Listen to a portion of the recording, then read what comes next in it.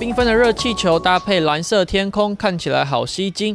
今天早上，台中石冈热气球嘉年华在土牛运动公园登场。不过，现场焦点不止热气球，还有奥运金牌羽球男双李阳以及台湾女拳王林玉婷。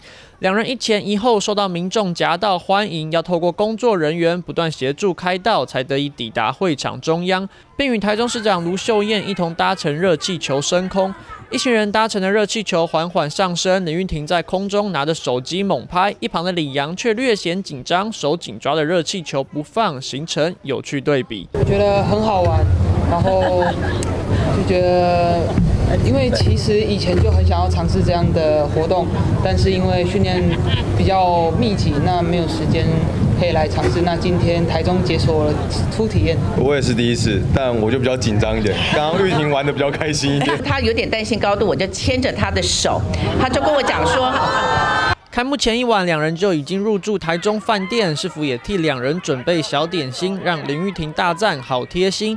而这次台中石冈热气球嘉年华将在二十三号到二十五号举行，为期三天。现场总共有十五颗热气球，场面盛大，不仅有石冈吉祥物、水滴宝宝，还有来自巴西的造型热气球。活动也规划六场升空体验，不过名额有限，有兴趣的民众手脚得要快。